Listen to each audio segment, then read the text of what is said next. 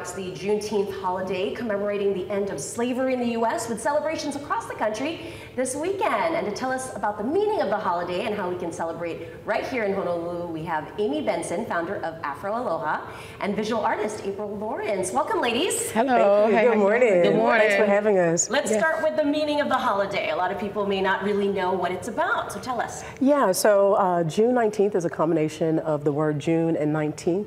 Um, in 1865 in Galveston, Texas, uh, enslaved people learned of their freedom that day. But as we know, moving forward, there were a lot of uh, barriers that they would face ahead. So we say free-ish since 1865.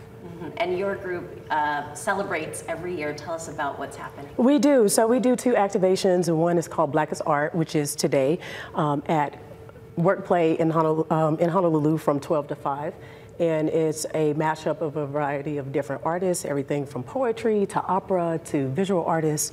Um, speaking of, we have our digital, uh, digital storyteller here, April Lawrence. Um, and then the second event is on Sunday, June 18th at Sweetland Farms, and that's our annual Juneteenth cookout, which is like a family reunion, and we have that every year. That was really exciting.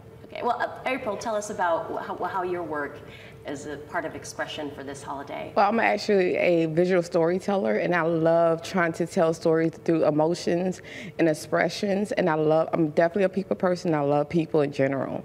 Yeah, so definitely it's right up my alley. Mhm. And this is at Workplay today. Today, Yes, yes. yes, today. What will you be doing? Definitely photographing the event. Um, I'm very excited for it. Gonna, I'm super excited to see what type of new photography that I'm going to venture into today, especially with the nice outfits that people are going to be wearing. The, the artist is going to be on, on the stage today, so I'm super excited about it. Mhm. And of course, we also know that there's a Freedom Day event in Aiea at Blaisdell Park. Yeah, we're actually headed over there uh, when we leave here. so the NAACP is hosting their Freedom Day um, at Neal Blaisdell Park. I believe it begins at 10 a.m., but we'll be there early uh, to, to support. And all of this stuff is definitely open to the public. Absolutely, absolutely. Why is it so important to expand it beyond the Black and African American communities? Yeah, you know, even within the black and uh, black communities, uh, not everyone was familiar with Juneteenth. It really depended on where you grew up. I grew up in the deep South, and so we did celebrate Juneteenth growing um, growing up. And so we want to get that information out because it is something that is important to our liberation, our continued uh, fight for liberation. So uh, we want people to be more aware of it.